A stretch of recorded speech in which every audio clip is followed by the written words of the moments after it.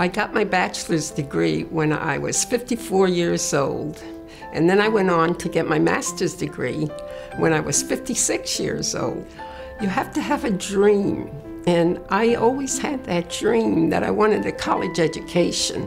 I did graduate summa cum laude, both in my bachelor's and my master's degree. But I think I also have to point out that by this time we had five children, and my husband and I had committed to uh, giving each one of those children a private college education. And I'm happy to say that we we fulfilled that promise also.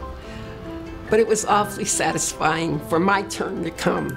I think to really appreciate life, you have to learn about a lot of different things. And if you can make that learning also fun, it makes you a more interesting person it um, gives you a zest for life, and um, as you get older, you have to be very careful that you continue to cultivate that zest for life because it's very easy to just sort of sit back and let life pass you by, and um, no fun in that.